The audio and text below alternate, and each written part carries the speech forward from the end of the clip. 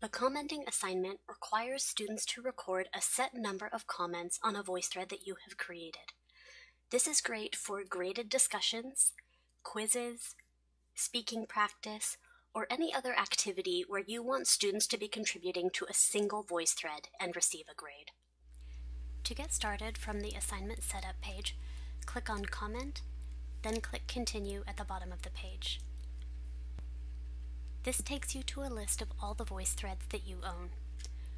To use one of them, just click on the thumbnail of the VoiceThread that you'd like to use, and then select which comments you would like to include on the copy used for this assignment.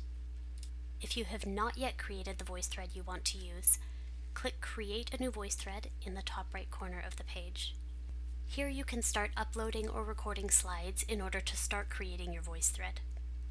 If you change your mind, you can always click back in the bottom left corner.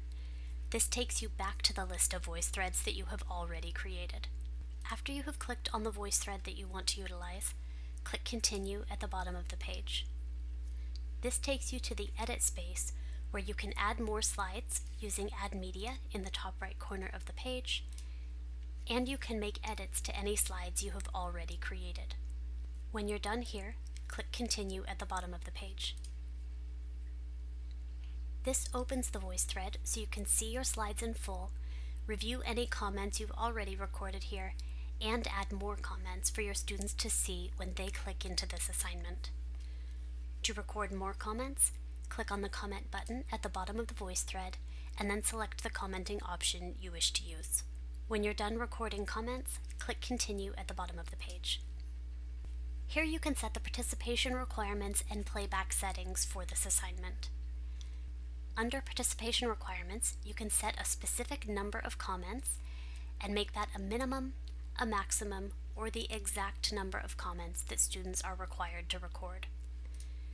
If you'd like to build a collaborative VoiceThread with your students, you can require them to add slides here as well and set that as a minimum, maximum, or exact number as well.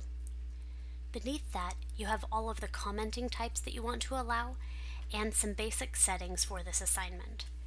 For example, if you don't want students to be able to see one another's comments, you'll enable comment moderation here.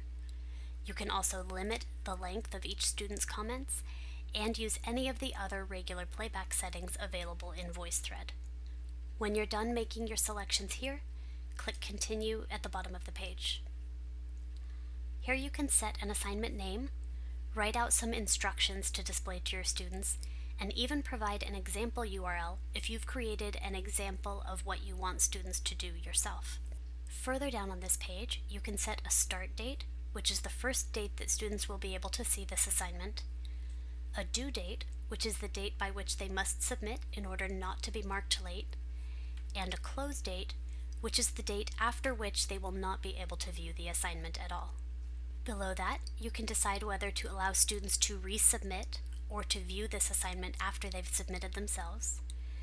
And you can select the assessment style you want to use, a percentage grade, complete or incomplete, or a specific number of points. When you're all done making your selections here, just click Publish at the bottom of the page.